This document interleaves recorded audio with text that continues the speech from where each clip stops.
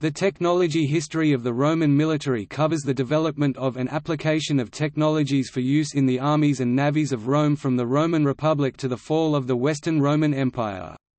The rise of Hellenism and the Roman Republic are generally seen as signaling the end of the Iron Age in the Mediterranean. Roman iron working was enhanced by a process known as carburization. The Romans used the better properties in their armaments, and the 1,300 years of Roman military technology saw radical changes. The Roman armies of the early empire were much better equipped than early republican armies. Metals used for arms and armor primarily included iron, bronze, and brass.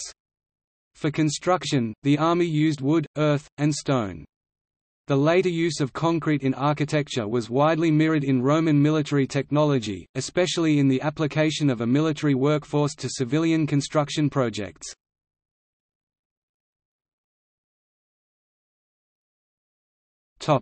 Origins and development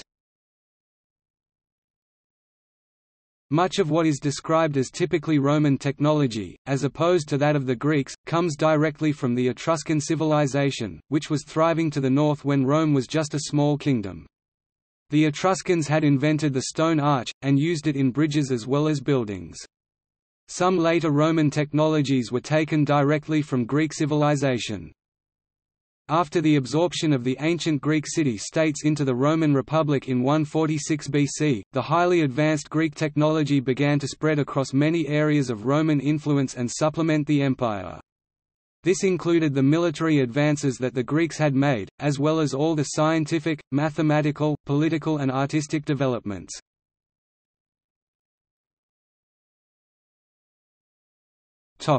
New materials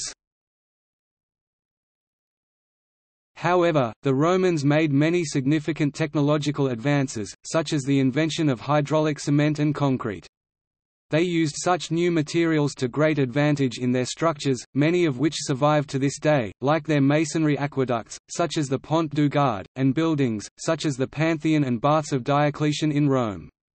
Their methods were recorded by such luminaries as Vitruvius and Frontinus for example, who wrote handbooks to advise fellow engineers and architects. Romans knew enough history to be aware that widespread technological change had occurred in the past and brought benefits, as shown for example by Pliny the Elder's Naturalis Historia. That tradition continued as the empire grew in size and absorbed new ideas. Romans thought of themselves as practical, so small-scale innovation was common such as the development of the ballista into the polybolos or repeating ballista. The traditional view is that their reliance on a plentiful slave labor force and a lack of a patent or copyright system have both been cited as reasons that there was little social or financial pressure to automate or reduce manual tasks.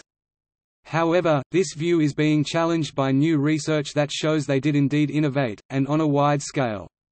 Thus the watermill had been known to the Greeks, but it was the Romans who developed their efficient utilization. The set of mills at Barbegal in southern France were worked by a single aqueduct, which drove no fewer than 16 overshot mills built into the side of a hill.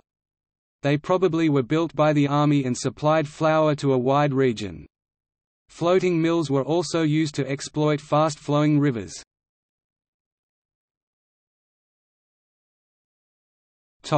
Mining The Romans also used water power in an unexpected way during mining operations.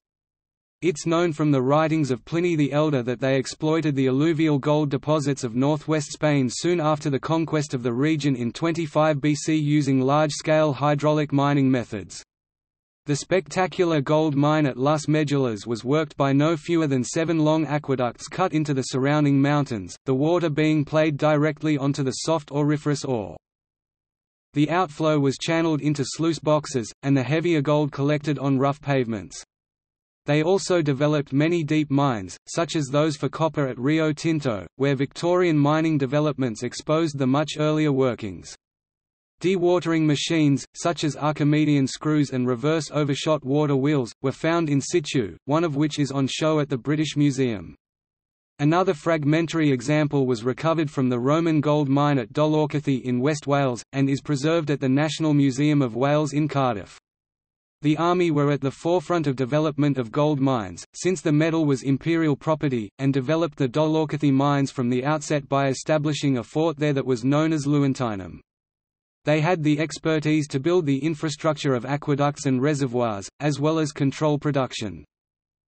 The period in which technological progress was fastest and greatest was during the 2nd century and 1st century BC, which was the period in which Roman political and economic power greatly increased. By the 2nd century, Roman technology appears to have peaked.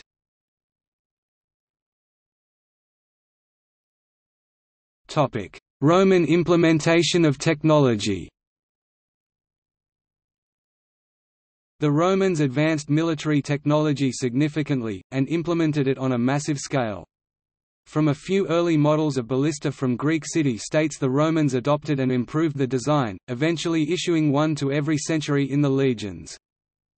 To facilitate this organization, an engineering corps was developed. An officer of engineers, or praefectus fabrum, is referenced in armies of the late Republic, but this post is not verifiable in all accounts and may have simply been a military advisor on the personal staff of a commanding officer. There were legion architects whose rank is yet unknown, who were responsible for the construction of war machines. Ensuring that constructions were level was the job of the libratores, who would also launch missiles and other projectiles on occasion during battle. The engineering corps was in charge of massive production, frequently prefabricating artillery and siege equipment to facilitate its transportation.